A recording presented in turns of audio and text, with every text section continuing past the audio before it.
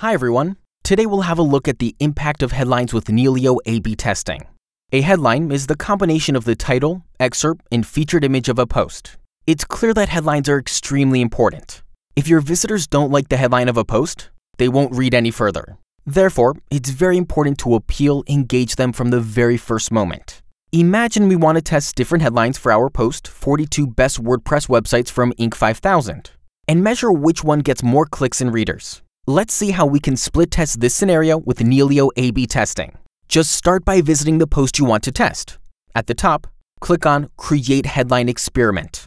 Now let's fill out the basic information of the experiment. Name the experiment and describe what you plan to do. Once you're done, click Next to add alternative headlines. Here you can see the original title and featured image of the post. Click New Headline to create a new alternative. Now you can type the alternative title and excerpt. To change the featured image, just click on Change and select a different image from your WordPress media library. Remember that you can create as many alternative headlines as you want.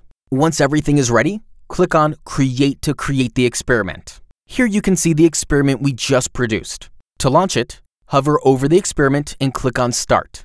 Then, just give Nelio some time to collect and process your visitor's behavior. You can check the results of the experiment at any time by using the View link. Note that in a headline experiment, page views are defined as the total amount of times that visitors see a headline anywhere on their screen. Conversions, on the other hand, count the number of times that the tested post has been actually visited. After a certain period of time, if there is a winner, you can stop the experiment by clicking on the Stop button. There's only one thing left. Since one alternative headline was better than the rest, you should make it permanent so that all your visitors can see it. To do so, just click on the Apply button of the winning alternative. There are hundreds of thousands of different combinations that can be tested on any given website. So why don't you go ahead and create your next experiment? Stay tuned for the upcoming videos. Thanks for watching.